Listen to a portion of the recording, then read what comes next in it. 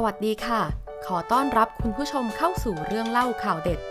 ชี้แจงดราม่ากรงกำโปะแตก จู่ๆรถยนต์กระบะรุ่นใหม่โผล่สมัยพศ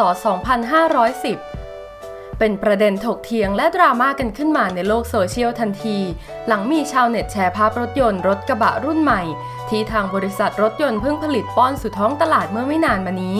มันดันโผล่เข้ามาร่วมฉากในละครกรงกรรม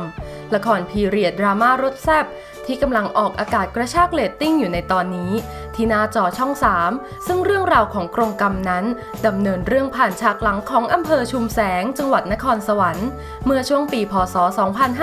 2510 ดังนั้นมันจึงเป็นไปไม่ได้เลย ที่จะมีรถยนต์รุ่นที่ผลิตในช่วงระยะเวลานี้ ไปโผล่ร่วมเข้าฉากได้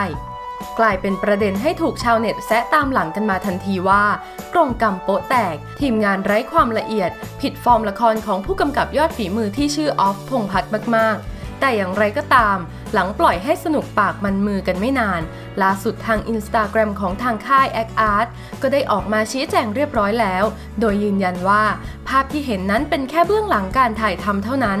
ซึ่งเวลาออกอากาศจริงางละครได้ทำการลบส่วนเกินดังกล่าวทิ้งไปเรียบร้อยแล้ว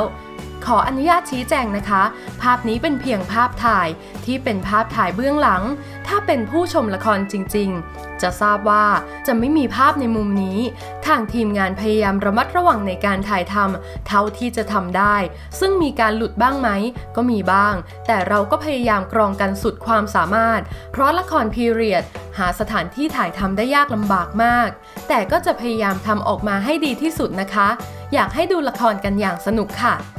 ขอขอบคุณข้อมูลดีๆ จากที่นี่ .com อย่าลืมกดติดตามพร้อมทั้งกดรูปกระดิ่ง เพื่อแจ้งเตือนเรื่องใหม่ๆ จะได้ไม่พลาดรายการเรื่องเล่าข่าวเด็ด ขอบคุณที่รับชม แล้วเจอกันใหม่ค่ะ